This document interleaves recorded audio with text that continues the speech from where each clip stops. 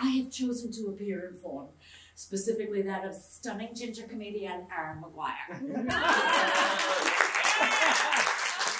Lord, is the Bible accurate? Yes, the Bible is 100% accurate, especially when thrown at close range. Kanye West. Mm. Yeah, right. The next time you win a Grammy and you thank me for your God given talents, they're going to get God taken.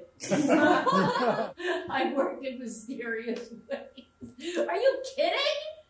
I barely even work.